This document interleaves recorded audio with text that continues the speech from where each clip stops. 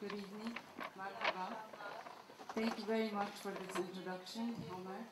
And thank you, I would like to thank Arkitera for, for this invitation and this opportunity to present our practice. This is really our first invitation to, uh, to present our profile and, and short period. And I would also like to thank uh, the university, Batir For tonight. Um, I'll start, uh, like this presentation is about three parts. Mainly the first part is an introduction about the context of Cairo and uh, the context of the past 10, uh, two decades, like the last 10 years. And uh, this is where the, uh, where the office emerged, or our practice emerged in this, uh, like five years ago. And the second part will be mainly about um, to give you an overview of uh, the services that we give, uh, because we're, we work in urban architecture, uh, interior, and product design. And the last part, we're going to go through one of our projects uh, to give you an overview also about our design process. Um, the main focus of our it was only like two a few days ago that I managed to to put down my thoughts on this lecture and to prepare. And uh, this opportunity of coming here allowed me to look back at what we did for the past five years and uh, to focus on the, the birth of this practice, its evolution, growth, and uh, path.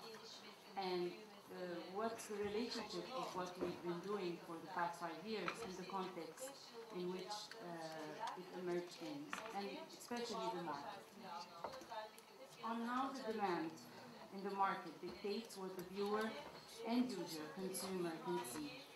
How a given and current condition of the market can uh, determine the existence of ideas, concepts, uh, either enter the public realm or be um, the contents of a cupboard uh, or on shelves. And works that fall outside this like uh, market of circuit of consumption are alienated, invisible, and lack and they lack visibility. They are powerless and they have no impact in the government of the market. Uh, failure, that their failure to get commodified, conform, or to get attached in the stylistic categorization um, make them or keep them out of the circuit and keep them from entering the public view. The repeated question or quest throughout our path or short path was how these work entered, how these work stir, trouble the dominant world, and how we can put them into view.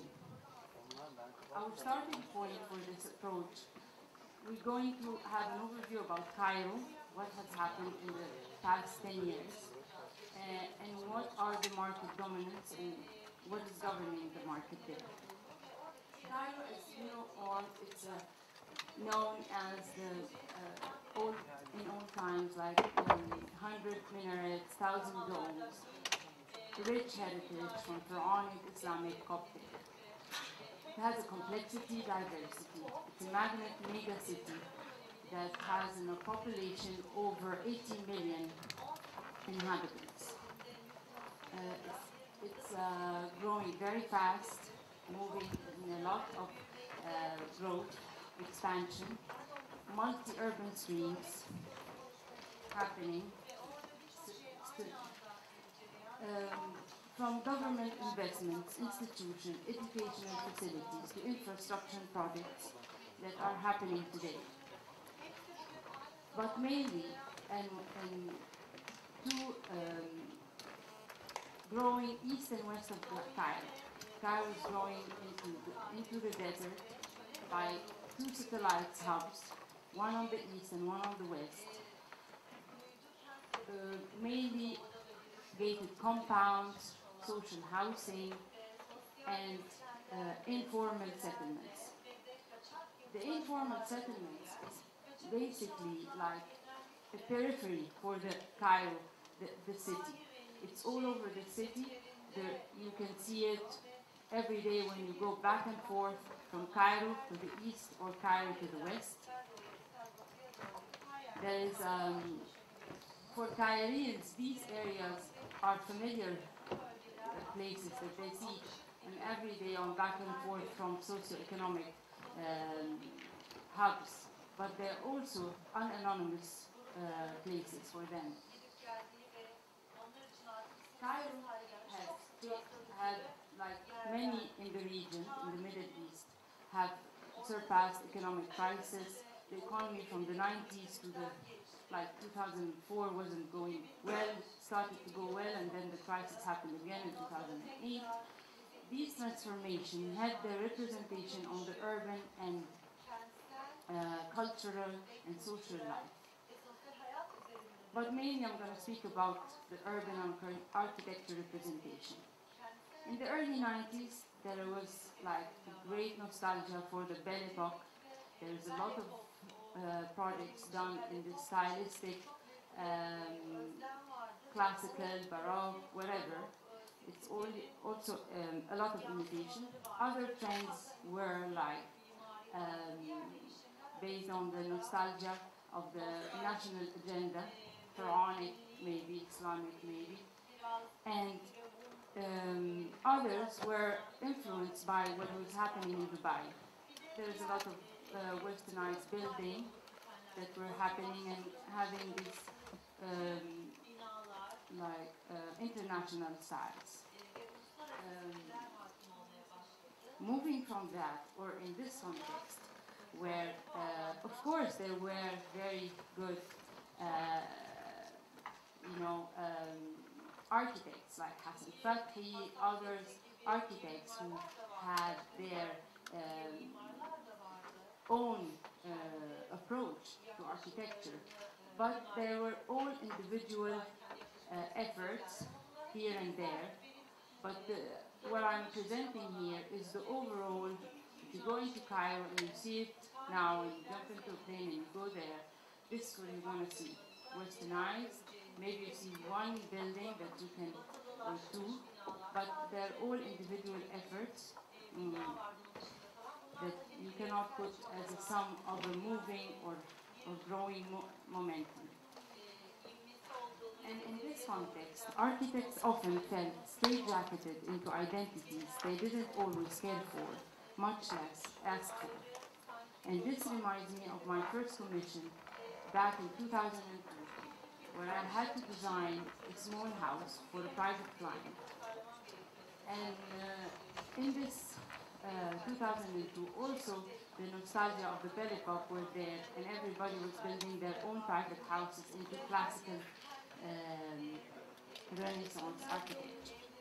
And I presented this project for the client, but unfortunately, um, it stayed as a, it never got built.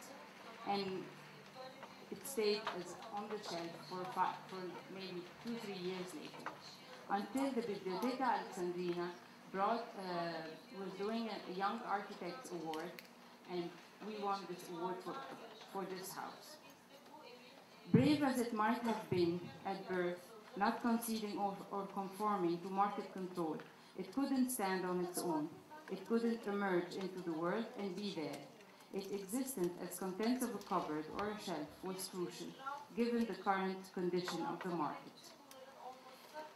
For these reasons, I had, by 2005, I had an opportunity to design or to collaborate with renowned architects Abdel Halim Ibrahim and another Legorreta, who's a Mexican architect, as an interior designer for the American University in Cairo, which at the time was the Cairo largest project in years.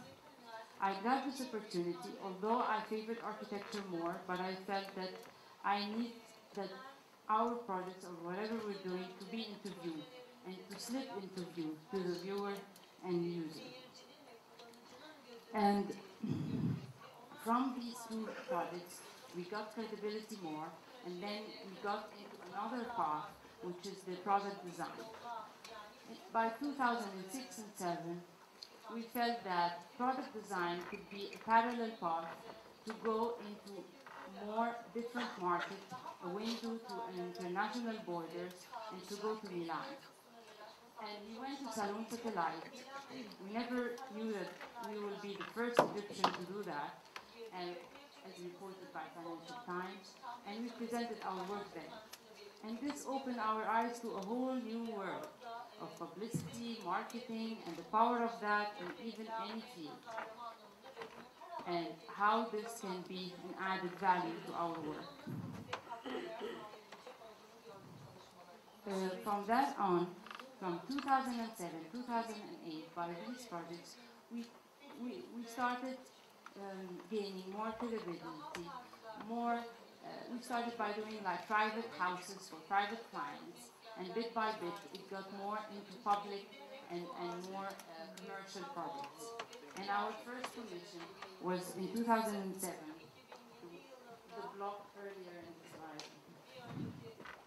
By 2007, we got this commission to design an apartment building in a new city center, the mixed use center, which is the first mixed use center in Egypt.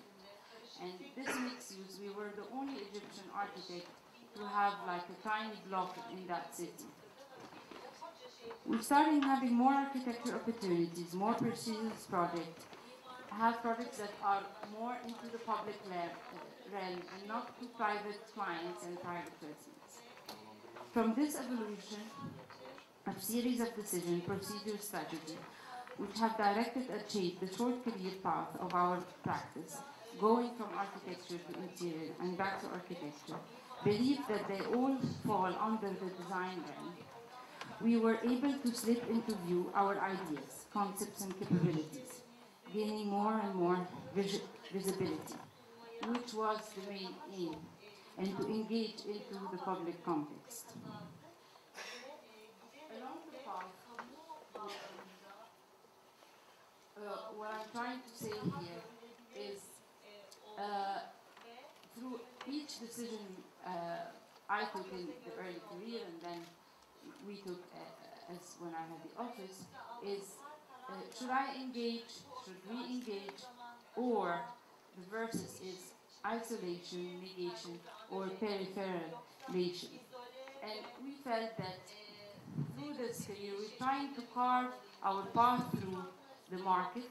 We're trying to overcome what comes and take the opportunity that can uh, let us put our work into view and also uh, be uh, visible.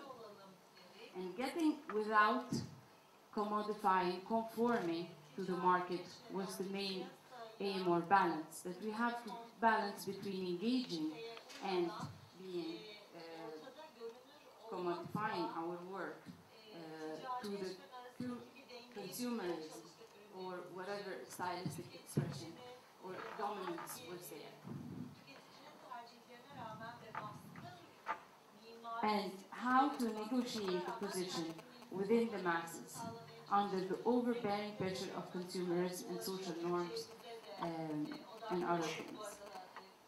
The main focus of our office in regard, as Omer has put it, most of the offices in Cairo are production offices, mainly concerned for technical and design development and construction documents. There is, of course, uh, design offices, but mainly few. You can count them on your hands, maybe 10, 20 maximum, uh, the number of uh, design offices there. But the situation today in Cairo is, as I see it, from my point of view, is in a promising stage uh, transition. Although still young art scene, still young architecture arena, but it's going growing into a vibrant culture. With the internet, with the web, it provided a platform for architects here and there to um, present their work, to put their work. And you see it in a culture, literature, cinema. You see a lot of young architects, uh, a lot of young uh, people doing good work, and, and, and you can really know about them. Before, like 10 years or 20 years ago, you couldn't see these people or you can, can't feel them. So I, I, I have a, uh, an understanding that Egypt is going like in a, I don't want to call it renaissance, but growing into a very vibrant culture scene. A better cl uh, climate for new client, uh, for new, new talents to emerge. I believe this momentum is growing and, and will be very visible uh. Uh, the next stage, um, after I presented the above, an overview of the, one of our projects, uh, to give you a brief of the overview, uh, sorry, about our design process and how we uh, present and work on this project. Uh, this is an apartment building the purpose of it is to house uh, apartments, duplexes, uh, penthouses, uh, different uh, sizes uh, in a mixed-use city, about uh, 2 million square feet. The city, it will host the city hotels, corporate, finance center, pedestrian walks, retails. It has a school on the um, periphery to the city. And this, uh, we had this tiny block, but before going into the design of, or the context and place of this, of this block, I would like to uh, put down our thoughts and interpretation about the home and the dwelling, and, and how the notion of privacy is still an issue uh, to us in our culture today. Um, it differs in its degree from different class hierarchy, but it's still there, and the notion is still uh, important. The, the questioning the, the form and the introverted and extroverted uh, nature of homes is a question uh, for us because still people have this uh, issue. And the other notion that I want to look at is the boundary and security. These two things, uh, for us, when we try to like brainstorm on if we're going to design an apartment building that is going to have homes inside and houses, what are the two major things? And how even the overall of the, this apartment building is perceived, and how from the early in the when you look at it, it has to have this like boundary security effect. And security is another thing. Boundaries, you see them in vernacular archi architecture in Egypt, in like subsidies, settlements around the city, and also even in, in A-class or high-end clients. Um, and how a house is, is uh, developed through a process of um, divisions and subdivisions and incremental without any addition. So the boundary is the main thing, and then it comes and involves in subdivisions. Uh, and we have uh, like uh, looked at or uh, kind of patterns that we see them there for social for social needs and we believe that they are still happening.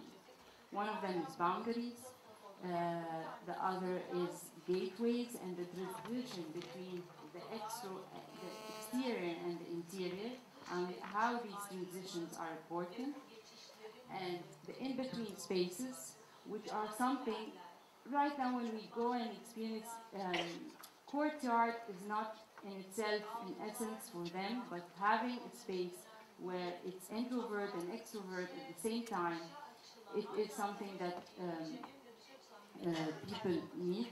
The other things is uh, screenings and layers of screening or layers of transition from the outside to the inside. It doesn't have to be the Mashrabeya screening. It's, all, it's only about how you perceive a home or you transition from different kind of layers. The projections as a sort of identifying your apartment, your identity within the whole apartment building, shadings and circulation elements. And we have put them in like a diagrammatic and the main four are boundaries, gateways, in between spaces. I'll move from that to uh, the context. Westown is the blue uh, dot there. It's outside of Cairo. Um, it's uh, uh, from Cairo to Westown. You go through the uh, ring road, and through this ring road, what you see is the, the periphery of Cairo, which is the sub-cities, the settlements on the agricultural land. It's into the desert, it has nothing there. But we felt these areas, which are peripheral to Cairo, but you see them wherever you go, from the city to the to the outside desert hubs, and these areas are for us a source of inspiration, and also um, they are uh, familiar to all Cairenes. It's only that for them it's anonymous. This is the tiny block that I was speaking about, and uh, the upper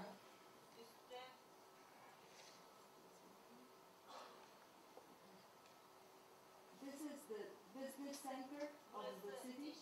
Here is the residential part of the city. And this is the pedestrian part, the commercial hub here. And most of these are offices and commercial areas. Lower part is the residential area.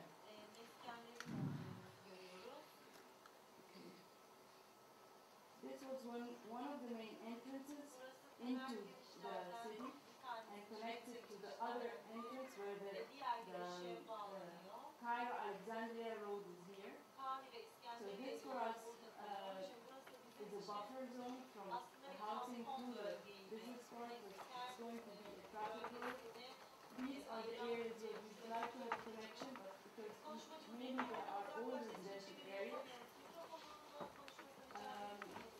We have like a minimum retail, twenty percent so from the ground floor. We on this side. And here is the we like a preferred route coming from the northwestern side. Also the street is helping it to be more uh, faster. And the lower part is um, west, east, west, and south, and this is the north. We started by this sketch, which is uh, defining the boundary of the space, um, and also because this is a tiny space, we felt that everything here ha- has to have like a small landmark project. It's a, it needs to be coherent, massive, and, and be there in the middle of these four roads. And starting the, the, the air into the building and seeing how the other climatic issues. These are the first drafts for the how we see this apartment building, and then the different courtyards to grab the air into the space. And, and this is this is the gateway. We define a normal gateway to enter to the space, and then we have different courtyards where- which are going to be like spaces introverted and extroverted meanwhile for the apartments. These were early sketches, but at the end were a big change from this um, uh, from this diagram.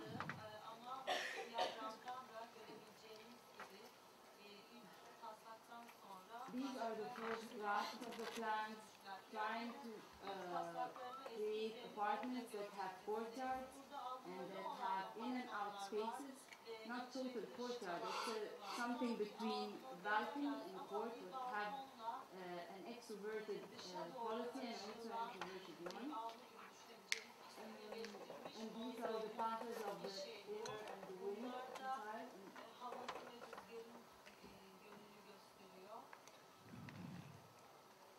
Um, as I said in the beginning, these were for us are um, inspirations, and we feel that uh, the interaction between the green and the building, between how they grow and, and the system they grow within. We, put it as a base for our design from the ground floor to the plants to the elevations. And, sorry, and how we see the elevation as like uh, different layers. Uh, the initial layer is a solid wall, like the boundary thing, and then we in it the voids, and then there is another layer which is like transparent, semi-transparent spaces which come out from this blank uh, walls, and like we have here like three different layers of transparency of uh, facades and also for the relationship between the outside and the inside. These were different iterations of how we see the building. And and at the end, uh, we did these projections, which, which for us define the spaces, and also they are coming out from the same black box wall that we have, and everything here is subtracted or folded from the same uh, plane or the same boundary that we started off with. Um, divisions, foldings, subtractions, and different layering were the governing uh, principle for the building. And then we're right now on the concept stage of this uh, project. So we were trying to do different iterations of the facades and how we move different solid to semi-solid to maybe more transparent uh, things and how the identities of the balconies will have different shapes and also maybe inside different color scheming and they will all be in a brick wall which is something uh, that you find locally very easy and also um, uh, not costly. This is the layout and these are the different kinds of apartments and it shows how they interlock in different ways creating different kinds of courtyard and spatial experience from the outside to the inside. And and also they they uh, provide for an, uh, one of the apartments each apartment has to have like a view on the inside from here, on the outside from here and the inside from the other. So we try to maintain that for all the apartments to have like this two views. And this is the gateway for the apartment building um, and also it defines uh, gives the people uh, who's going to use it more security and feel that this is their like big family house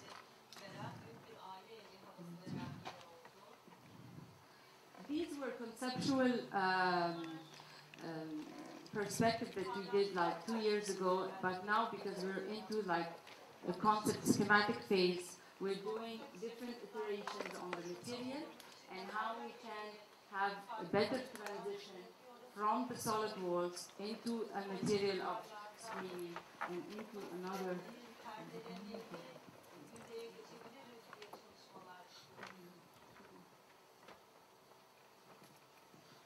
Maalesef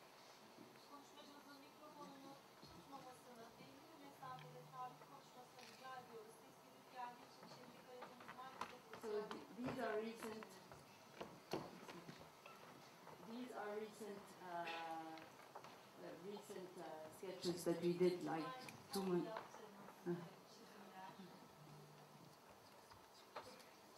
Okay, okay, okay. I'm sorry. And this is also a study of the elevation, how the solid and void um, of the different.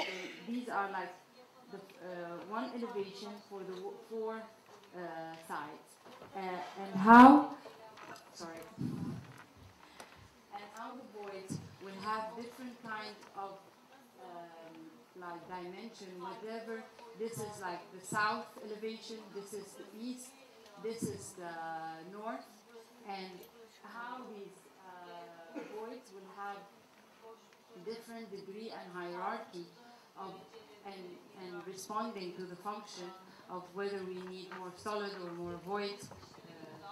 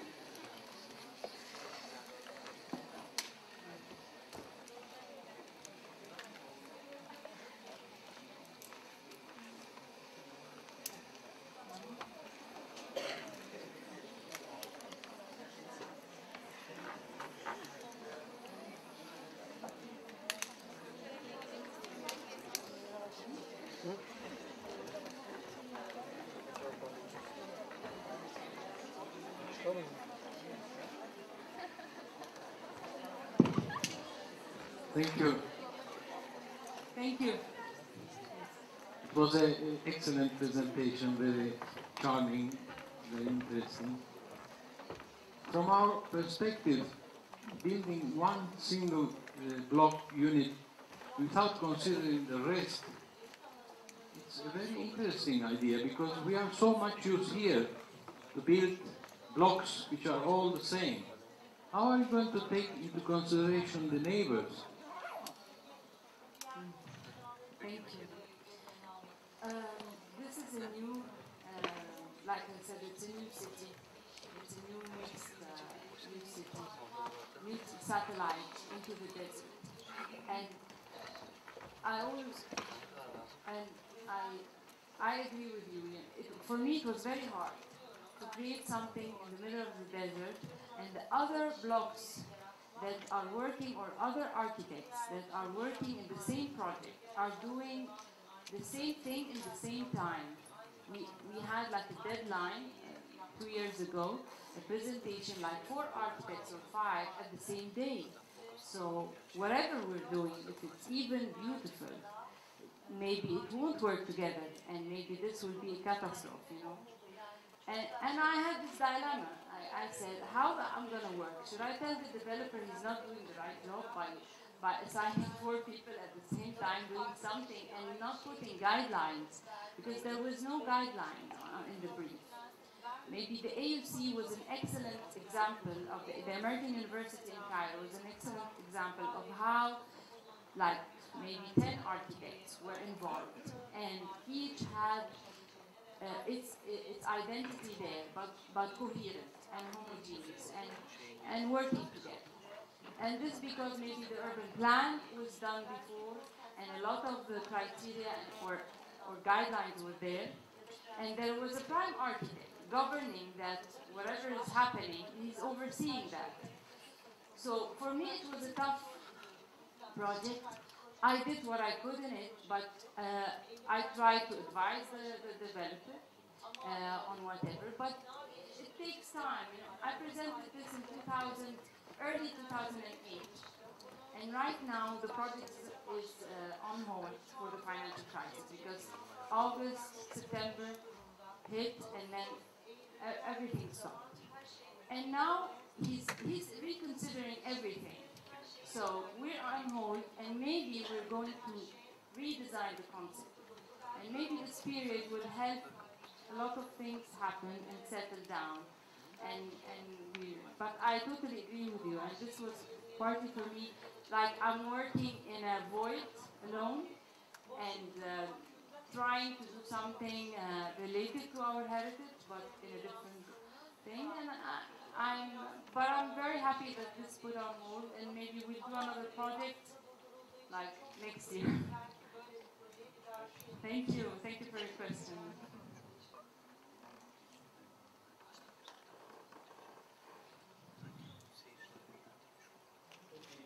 You have a very good uh, example of an architect, Hassan Fathy, which is a wonderful architect and who is interested in sustainable design in a way. Uh, what are the precautions you have taken in your design about sustainability? Because I think Egypt is a very hot country, crowded country, there's a crisis of economy, and you have said nothing about the design. Uh, as an architect, your responsibility of sustainability. Could you explain some? Okay, Thank you. thank you. Thank you for your question. I didn't talk about sustainability because I see it as a, something that it's uh, now that it's uh, like a given thing. We have to deal with it, and is something that I don't have to mention because it's in there, and I have to work with it. And um, and I'm trying from the early in the stage of the design is to try to ventilate this as natural as possible. To each apartment has two uh, like two sides of ventilations. I'm trying to bring air into this as much as I can. And uh, maybe in the last perspective you see more glass, but this was like a pre-concept uh, two years ago. So this is why we're working now on how to treat the facades with local materials uh, and to put the other layer of schematic. Uh, of course, Hassan Fathy is for us is a mentor, and we learn from him a lot. Uh, I agree with a lot of the things that he achieved, but, but maybe we're trying to get inspiration um, in a more conceptual way in our work. Um, and I hope I answered your question.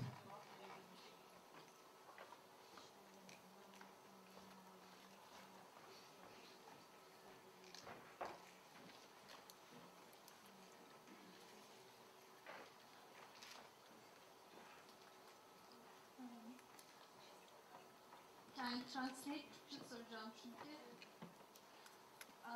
Ben özellikle mahremiyet kavramı ile ilgili ele almak istiyorum. Ee, yaptığınız tasarımda mahremiyet kavramını hem e, saklıyorsunuz hem de gösteriyorsunuz. Yani bunu açtığınızı görüyorum. Ee, bu bakış açısını aslında biraz batıya da gönderme var mı? Yani kendi geleneksel insan bakış açısı. Batıdaki, batıdaki düşünceden etkilendiniz mi? Cam yapıların e, aslında kendi içinde bulunduğu yapıda e, çok da mahremiyeti değil de daha şeffaflığı gösterdiğini. Sizin düşünceniz nedir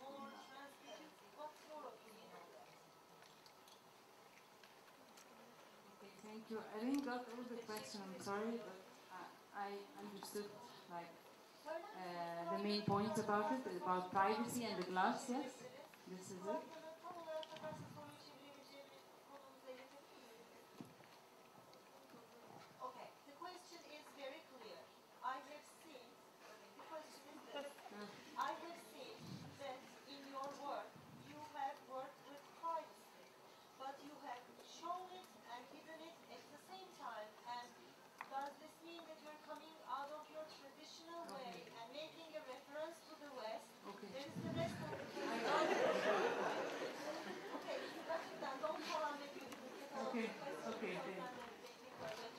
Okay. Thank you. Thank you.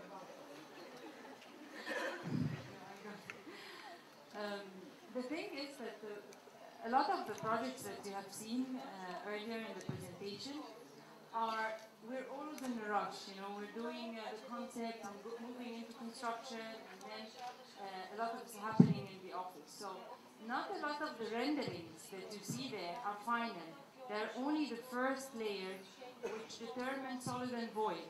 But we put other layers of screenings, or maybe screenings are walls, not of screenings. And we're working a lot about these kind of layers that I try to describe in this project, and how we go from solid into translucent into different uh, or different degree, degrees of translucency, and then go to the glass. So uh, I, I agree with you because you saw a lot of the projects which are solid and void, and only like like this one, uh, for example. If I go back to the presentation, uh, especially the private houses, I believe. Okay, mm, sorry. Ah, these here.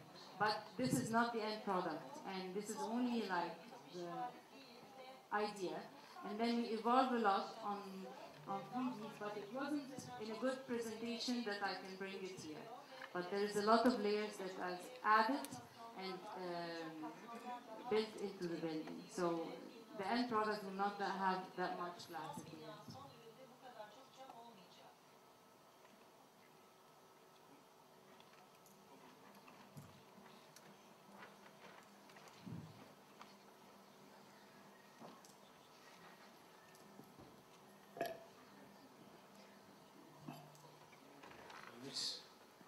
Uh, as far as I understood, uh, this project has taken a lot of time uh, to come to the schematic design phase. Uh, this is uh, a very long uh, period for our standards because uh, today in Turkey uh, we would like to design as quick as possible. Is correct or not? Uh, it's debatable. But um in the real estate business, uh, when you design something to sell, uh, there is a danger during the design uh, period, when it is so long, the demands may change. Uh, when the demand is high, um, you have to uh, act uh, rather quick in this case. Uh, did you have also the uh, same concern when uh, coming to the uh, schematic design phase?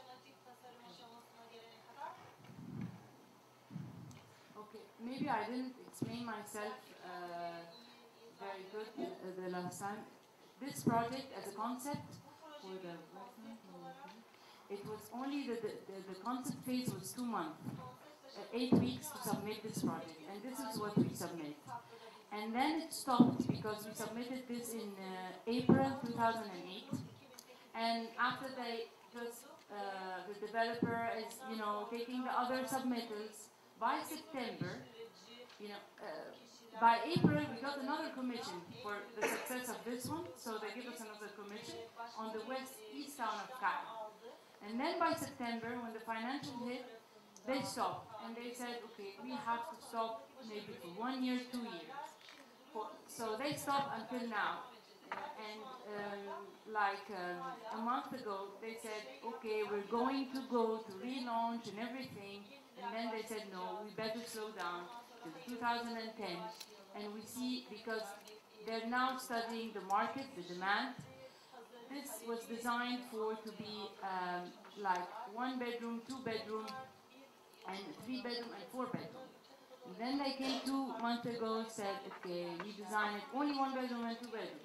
And then now they say, no, four bedroom, cancel the one bedroom. So they, so the design process of the concept phase was two months, but it stopped since. So we did like the past two months, we did like a revamp for a schematic phase, and then we're on hold because they need to study the market well to understand what people need.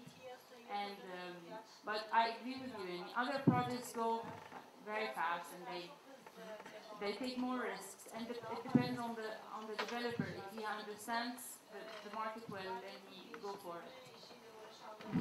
Thank you.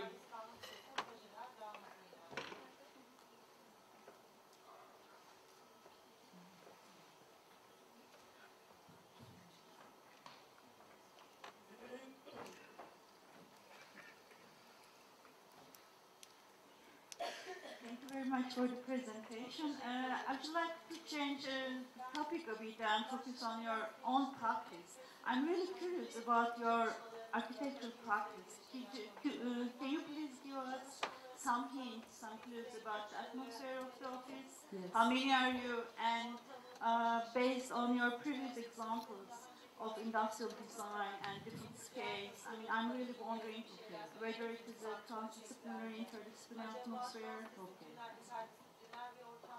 Thank you. Thank you for your question. Okay. Uh, our office, uh, right now we are 26 architects, uh, about 36 uh, in all. We started 2005, like early 2005. We were back then two, three people, two and me, uh, and uh, and then it kept growing. But from 2008, uh, it, this is, was the transition from like six people to 12 people, and then uh, right now to 26. Um, as I said in the presentation, that our first milestone project was the American University in Cairo as an interior uh, designer for some of the spaces, not everything, of course. And what um, back then we had like 80% of our work was interior, and this is where we went into product design, and only 20% were architecture. Uh, people at the time were not really uh, still in a in this classical phase. They don't know. They don't accept these kind of projects. They don't know our capability in that. They're a bit, you know, uh, hesitant, indifferent of what we do. And then from these milestone projects and uh, going to Milan and, and London with product designs, we, we, we ach- achieved some credibility. And some private clients started um, giving us jobs for their private residents. So we do a job and then it, gets another. And this was until 2000, end of 2007. And starting from 2007, we began having more corporates. So right now we have like 85 to 90 architecture and urban and 15 uh, interior. And maybe the product design right now is a bit, uh, not a lot of things we're doing. We have Uh, like 5%, but we, we would like to have more. But I needed to focus on, you know, I needed to focus a bit and cannot do everything and people with me, so we, we needed. And product design is, a, is something in Egypt that's new. When I went to Milan, everybody said, and they, some of the people that I met there said, you don't have industrial design in your, your faculties, how come you're here?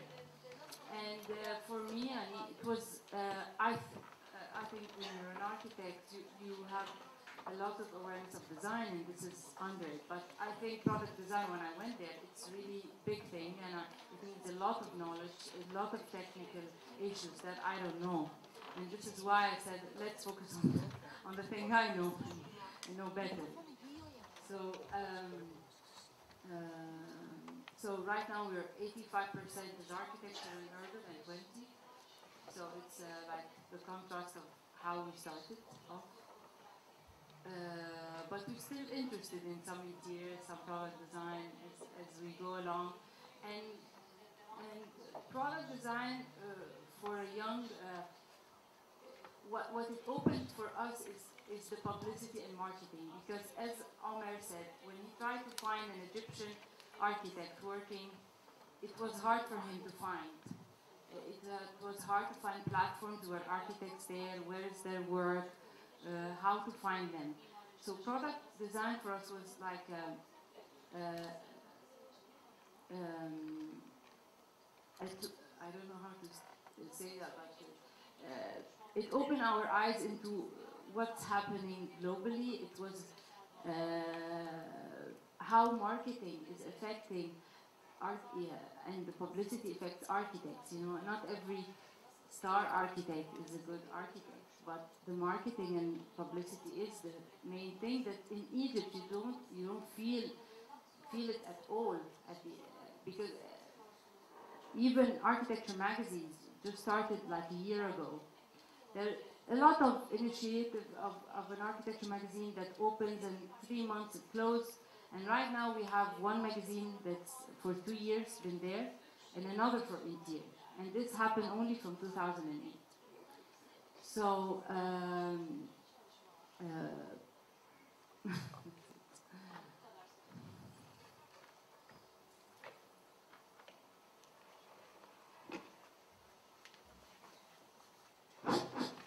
Öncelikle herkese merhabalar demek istiyorum. Hoş geldiniz ediyorum.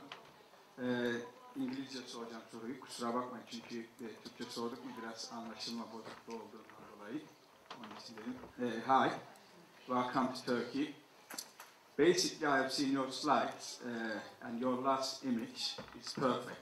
Uh, what kind of a program did you use to render that one? Is it like 3D Max or something? Yeah, very nice, very nice.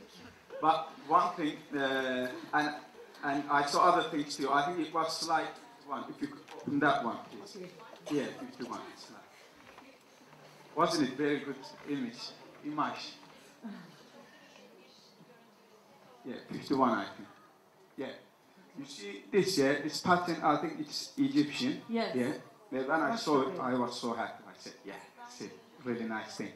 And towards the end, you had a, uh wall with this pattern on it, I think. It's, it was the very end. You know, you kept it for a minute or two. If you could just go to that slide, please. Yeah, no, go.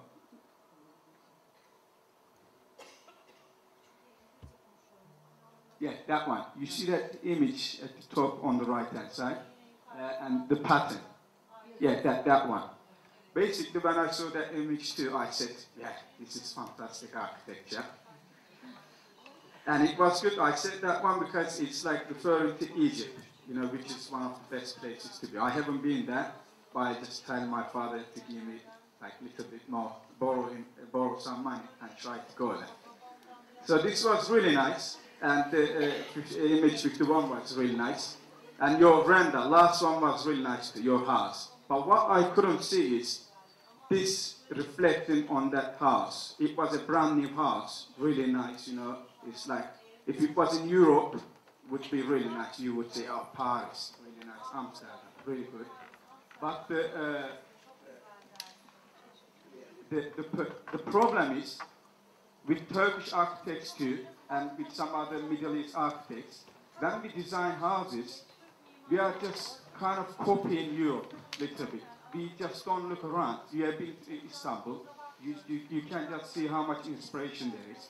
But I criticize Turkish architects or professors, whoever teaching Turkish people. Uh, and the reason is because we are just reflecting always to Europe. We just say Europe, yeah, we have to have this modern architecture. But can you, like, as an architect, I just ask you, in your further designs, reflect more on your culture, uh, culture to your houses. Like you said, a, a famous architect cannot be good architect. You, you realize this.